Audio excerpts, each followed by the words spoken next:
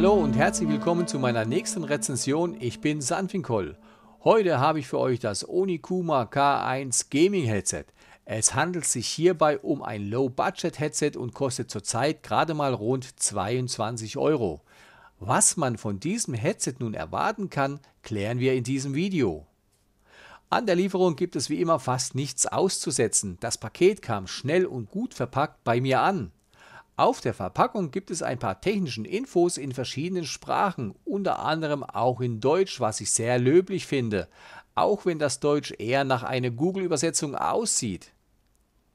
In der Verpackung befindet sich zum einen das Onikuma Gaming Headset, ein rund 1,20 Meter langes Y-Adapterkabel und eine mehrsprachige Gebrauchsanweisung ist ebenfalls noch mit dabei. Das Headset ist sowohl für die PS4 als auch für den PC und für die Xbox geeignet. Allerdings benötigt man für die Xbox noch einen extra Adapter, der üblicherweise nicht im Lieferumfang enthalten ist. Die Verarbeitung des Headsets ist gut. Es wurde hier hauptsächlich Kunststoff verarbeitet. Die Haptik wirkt aufgrund der verwendeten Materialien stellenweise etwas billig. Kopfband und Ohrpolster sind schön weich gepolstert. Das Obermaterial besteht aus einer Art Kunstleder. Das Kopfband ist hier in Blau gehalten. Die Ohrmuscheln lassen sich auf jeder Seite um ca. 2,5 cm ausziehen und sind auch für etwas größere Köpfe geeignet. Die Auszugsschienen bestehen übrigens aus Metall. Auch an den Ohrmuscheln finden sich blaue Farbakzente. Der Kopfhörer sitzt straff, aber nicht zu fest auf dem Kopf und er ist auch für Brillenträger geeignet. Ich selbst bin ja auch Brillenträger.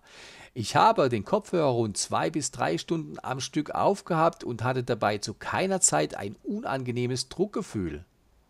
Die Kabellänge vom Headset beträgt wie erwähnt rund 1,20 Meter und hat einen 3,5 mm TRRS Klinkenstecker verbaut. Es handelt sich hier also um einen vierpoligen Stecker. Dadurch kann man das Headset auch im vollen Umfang an einem Smartphone betreiben. Getestet habe ich das an einem iPhone 6s Plus. Am Headset-Kabel befindet sich auch noch eine kleine Steuereinheit. Diese ist nicht so groß und klobig wie bei anderen Mitbewerbern.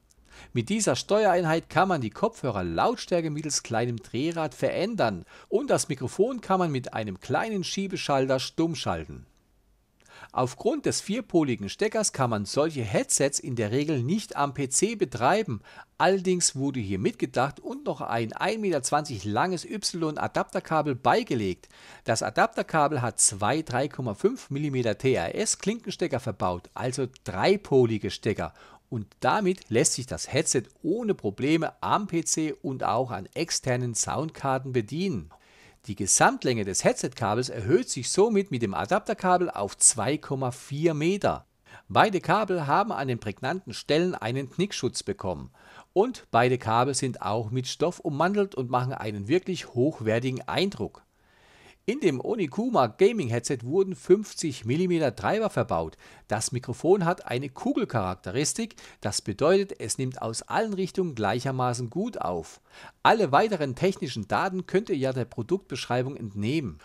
So meine Freunde, so viel also zur Theorie. Und wie sieht es nun in der Praxis aus? Auch das kann ich euch sagen. Das Headset hat ein gutes räumliches Klangverhalten. Die Ortung von Feinden klappt wirklich gut. Beim Zocken wäre jedoch ein bisschen mehr Bass wünschenswert gewesen. Die Mitten sind mir ein Tacken zu präsent. Insgesamt kann der Klang aber als recht ordentlich bezeichnet werden. Wie das Mikrofon klingt, könnt ihr ja schon die ganze Zeit hören, denn die gesamte Rezension wurde mit dem Headset-Mikrofon gesprochen. Der Sound ist auch hier völlig unbearbeitet und es wurden auch keinerlei Hilfsmittel benutzt. Allerdings muss ich erwähnen, dass die Klangqualität auch von der verwendeten Soundkarte abhängig ist. Aber keine Angst, Freunde, selbst die heutigen Onboard-Lösungen bieten recht guten Klang. Natürlich habe ich das Headset auch an ein Smartphone angeschlossen, in meinem Fall an das iPhone 6s Plus und habe ein bisschen was aufgenommen. Ich spiele euch mal kurz diese Aufnahme ein, damit ihr euch einen Eindruck machen könnt, wie es klingt, wenn man es an ein Smartphone anschließt.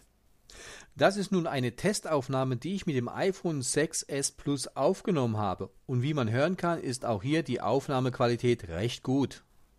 Ja, auch hier konnte mich eigentlich das Mikrofon überzeugen. Was mir besonders gut gefallen hat, ist die Tatsache, dass man mit dem Headset auch Musik hören kann. Auch mit dem Smartphone. Der Sound ist wirklich gut. Das hätte ich so nicht erwartet. Alles in allem handelt es sich hier um ein solides Gaming-Headset aus dem Low-Budget-Bereich mit einem für diese Preisklasse guten Mikrofon. Der Klang der Kopfhörer ist wirklich ordentlich, das räumliche Klangverhalten ist gut, Allerdings hat mir im Spiel ein wenig die Brillanz gefehlt, die unteren Frequenzen könnten auch etwas kräftiger sein. Bei Musikhören macht der Kopfhörer eine gute Figur. Die Verarbeitung ist wirklich sehr gut. Die Haptik ist aufgrund der verwendeten Materialien, wie schon erwähnt, nicht ganz so gut. Insgesamt möchte ich hier 1,5 Sterne abziehen und vergebe 3,5 Sterne. Da man auf Amazon aber nur ganze Sterne vergeben kann und das Onikuma Gaming Headset näher an 4 als an 3 Sterne dran ist, runde ich das Ganze auf 4 Sterne auf und vergebe diesem Gaming Headset 4 Sterne. So meine Freunde, das soll es nun gewesen sein.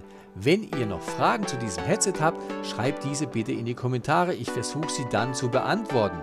Ich bedanke mich fürs Zuhören, ich bedanke mich fürs Zuschauen. Tschüss, bye bye, winke, winke. Hier war euer Sandvikol mit der Rezension zum Onikuma K1 Gaming Headset. Ciao, gehabt euch wohl, bis zum nächsten Mal.